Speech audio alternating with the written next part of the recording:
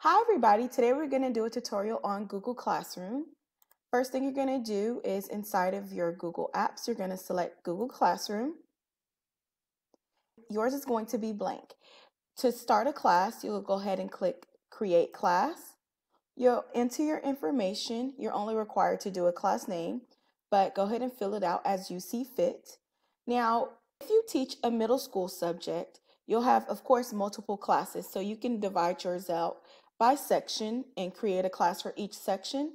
Or you can go inside. What I'm going to show you is I'm a first grade teacher. So I teach all subjects. So I have my Google Classroom divided into subjects within one class. So to each his own, whichever is more organized for you. So I've already created my class. I'm going to go ahead and select it. So here on stream, this is going to be the timeline of your classroom. Students are able to comment and post. You can undo that and I'll show you how in just a minute. And you'll be able to create announcements and schedules and every assignment that you post will be here as well.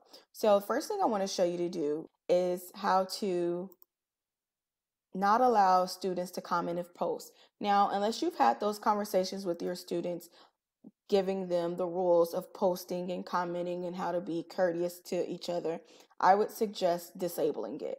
To do that, you're going to go to settings and you're going to select only teachers can post or comment. So go ahead and click save. Right here is the class code. This is what it, you're going to use to give to the students to log in and I'll talk about that a little bit later. So we're going to spend most time here in classwork tab.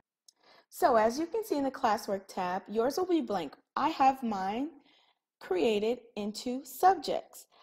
Google Classroom calls these topics. So each of my topics are subjects. We have reading, writing, math, science, and social studies. And I put these cute little emojis. I found this idea on Facebook and I was like, yeah, I got to do that. So I wanted it to be organized and I thought this was the perfect way. And here it is. I'll show you how to do that now. First, you're going to go to create. You're going to create a topic. Let's call this topic art. Not art, art and you add it. So within this topic, you'll be able to create your assignments and upload them on here. So you can move them however you want to. And the next thing I'm going to show you how to do is to create the assignments that will be inside of your topics or subjects. I'm just going to say subjects.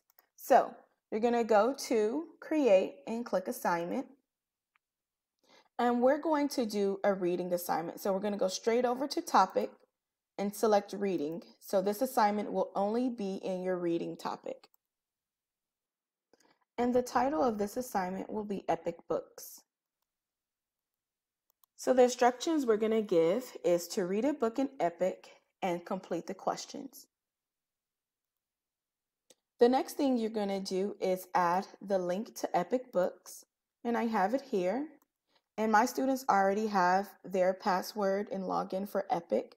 If you need a tutorial on how to set up Epic Books for your classroom, it is free now. Um, during the quarantine, go ahead and leave a comment down below and I'll be more than happy to submit a video for that. The next thing I'm going to add is a Google Drive document that we've already created. And it's just going to be reading comprehension questions that they will answer.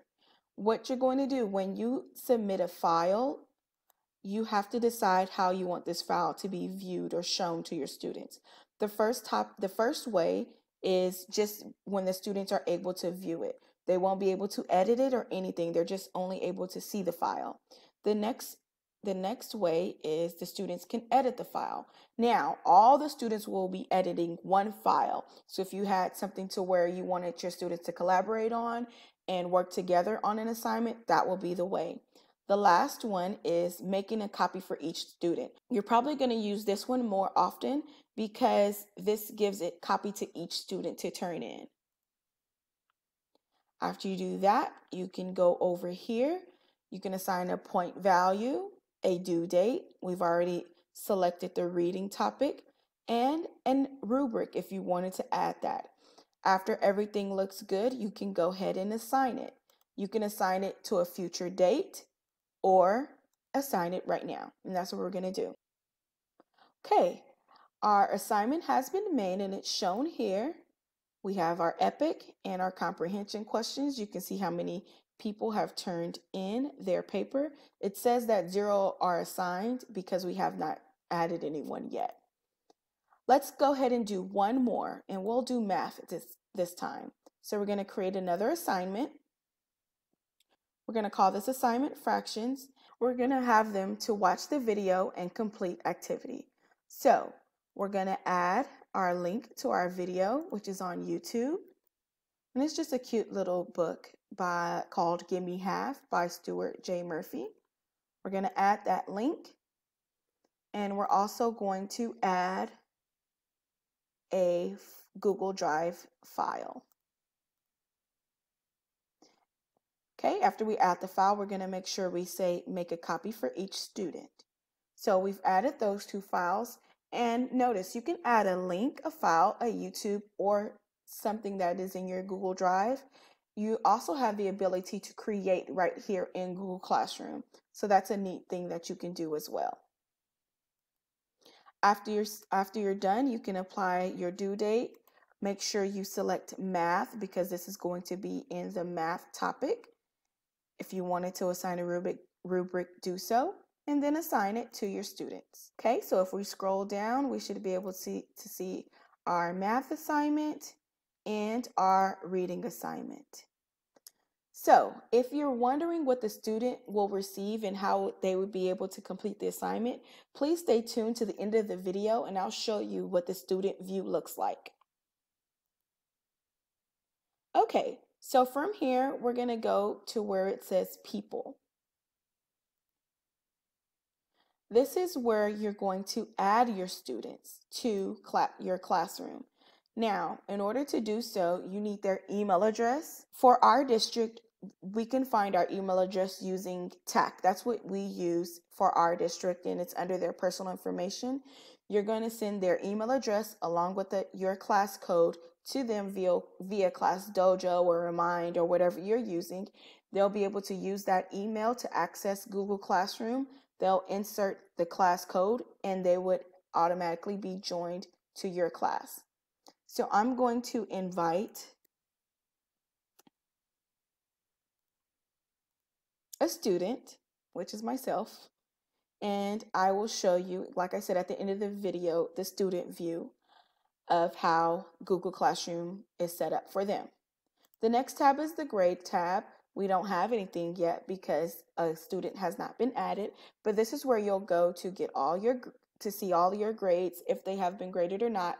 You'll be able to grade them here as well and then submit them back to the student. You also have the Google Calendar that has all of the assignments, what date they will be turned in on, and everything that you post on your Google Classroom all the documents will be saved to a class drive folder. One more thing I wanted to point out on this tab, which I think will be beneficial for our first graders in our primary grades, is the material tab. Now, let's say you wanted to give your students maybe a 120s chart or a sight words list, maybe an anchor chart. You can do all of those things in the materials section. This will not assign an assignment to them. This is just something that they can use ongoing in your classroom and you can take it off whenever you see fit. Okay, so like I said, I wanted to show you at the end of this video what it looks like in the student view. So let's see.